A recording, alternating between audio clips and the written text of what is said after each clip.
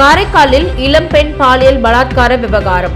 குற்றவாளிகளுக்கு ஆதரவாக செயல்பட்ட திமுக எம்எல்ஏ மீது நடவடிக்கை எடுக்க அதிமுக வலியுறுத்தல்.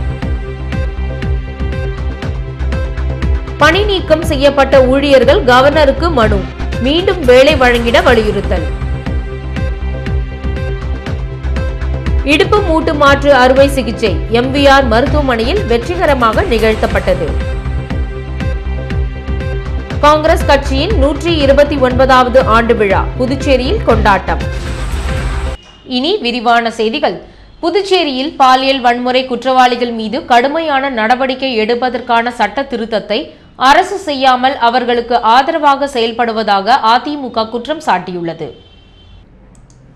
காரைக்காலில் இளம்பெண் ஒருவரை ஒரு கும்பல் பலாத்காரம் செய்திருப்பதை குறித்து செய்தியாளர்களுக்கு பேட்டியளித்த புதுச்சேரி அதிமுக மாநில செயலாளர் அன்பழகன் புதுச்சேரியில் சட்டம் ஒழுங்கு அரசின் கட்டுப்பாட்டில் இல்லை என்றும் முதலமைச்சர் ரங்கசாமி தலைமையிலான புதுச்சேரி அரசு பாலியல் வன்முறை குற்றவாளிகள் மீது கடுமையான நடவடிக்கை எடுப்பதற்கான சட்ட திருத்தத்தை அரசு செய்யாமல் அவர்களுக்கு ஆதரவாக செயல்படுகிறது என்றும் குற்றம் சாட்டினார்.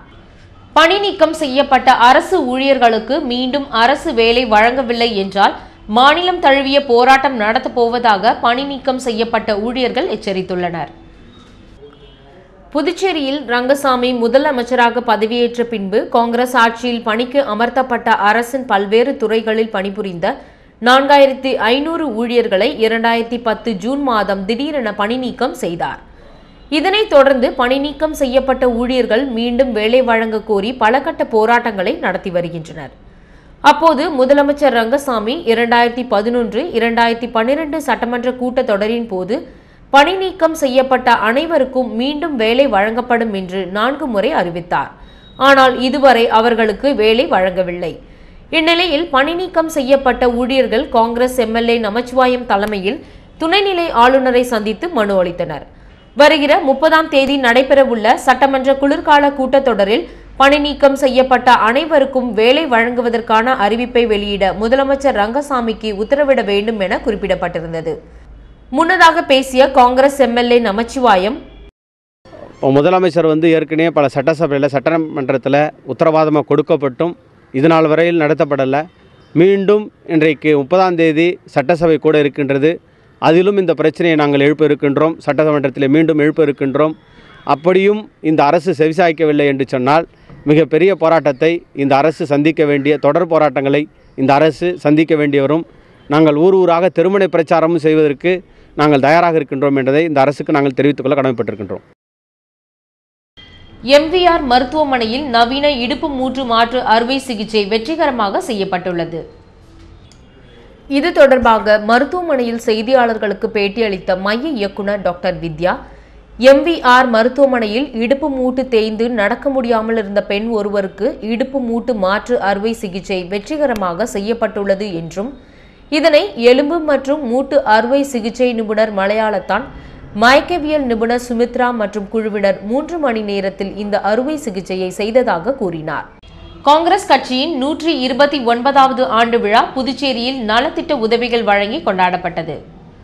காங்கிரஸ் கட்சியின் நூற்றி இருபத்தி ஒன்பதாவது ஆண்டு விழா கட்சி தலைமை அலுவலகத்தில் நடைபெற்றது. கட்சி தலைவர் ஏ வி சுப்பிரமணியன் தலைமையேற்க எதிர்க்கட்சி தலைவர் வைத்திலிங்கம் எம்எல்ஏக்கள் நமச்சிவாயம் லட்சுமி நாராயணன் உட்பட ஏராளமான நிர்வாகிகள் கலந்து கொண்டனர். இதனைத் தொடர்ந்து புதுச்சேரியில் உள்ள தலைவர்களின் சிலைகளுக்கு காங்கிரஸ் சார்பில் மாலை அணிவித்து மரியாதை செய்யப்பட்டது. இதனிடையே நூற்றி இருபத்தி ஒன்பதாவது ஆண்டு விழாவை முன்னிட்டு மாநில மாணவர் காங்கிரஸ் சார்பில் அரசு மருத்துவமனையில் இரத்த தானம் நடைபெற்றது. இந்நிகழ்ச்சியில் மாநில தலைவர் ஜெயதீபன் பொதுச் செயலாளர் ராஜசேகர் மாவட்ட தலைவர் விக்னேஷ் உட்பட ஐம்பதற்கும் மேற்பட்டவர்கள் கலந்து கொண்டு ரத்த தானம் செய்தனர். இதனிடையே வில்லியனூர் சட்டமன்ற தொகுதியில் அகில இந்திய காங்கிரஸ் கமிட்டியின் நூற்றி இருபத்தி ஒன்பதாம் ஆண்டு விழா நடைபெற்றது.